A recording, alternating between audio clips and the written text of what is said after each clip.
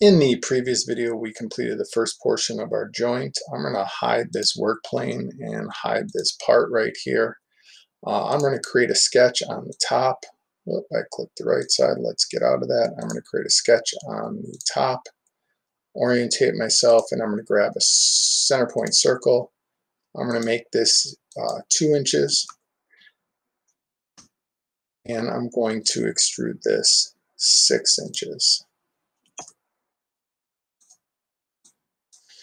So we can see that here. So what I'm going to do now is I'm going to place a sketch on my front plane.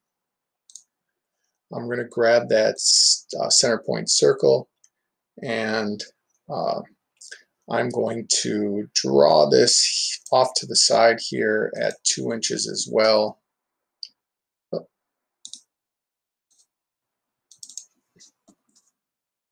And now I'm going to dimension it where I'd like it to be. I want it to be centered, so I'm going to make that three inches from the bottom.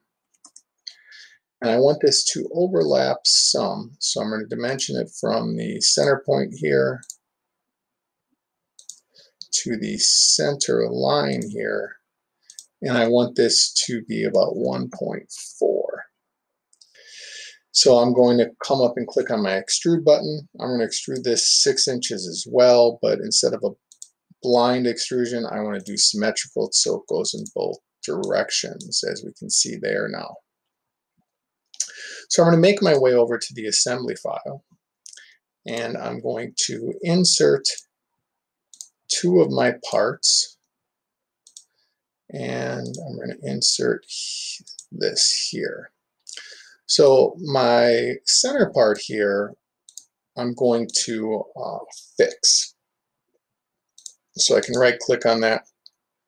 I'm going to fix that so it can't move. Now I'm simply just going to constrain using my Revolute uh, constraints. I'm going to do the outside of this to the outside of this here. And I'm going to do the same thing here to the outside of this circle center to the outside of this. And I'm going to uh, apply those. Uh, I can take this off. And what you're going to notice is they now move, but they don't move like they would in the physical world. And the reasons being on that is we haven't set any limitations.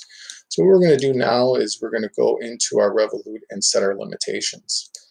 So we're going to come into our Revolutes by double clicking and then setting our limits here. And you can see that we have uh, our numbers that appear on this, uh, we can see as I turn, I've chosen 40 and 120. Uh, as you rotate this, you'll see that you have been, uh, you'll be given where we are. So 40 and 120 for my limits here. So I'm going to double click on Revolute 2. I'm going to click on limits. And on this one, let's look at a better angle.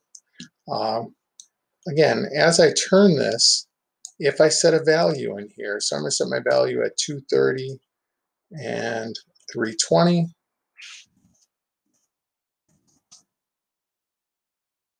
You're going to notice now I can fine tune if I need to. Okay, three. Let's see if we do have any collisions there. Uh, and we can see the part does go inside of each other there. So 230 seems to be too much. So I'm going to go to, oh, not 340, 240. 240. So now let's see if we rotate from that 320, uh, I flipped that, so I'm just going to exit right out of that. Let's go back in there. Uh, limits and uh, 220 to 320. Again, now I can rotate this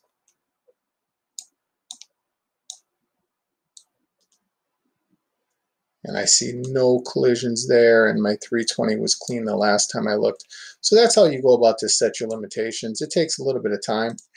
But now what you can see is we have our fully functioning uh, universal joint. Uh, if I right click on any of these now, I can right click and go to animate. I can hit, I'm going to go down to 100 steps and I'm going to keep it as reciprocating on this one. We can see that we can animate each half of our joint. Hope this helps as you use universal joints in your designs.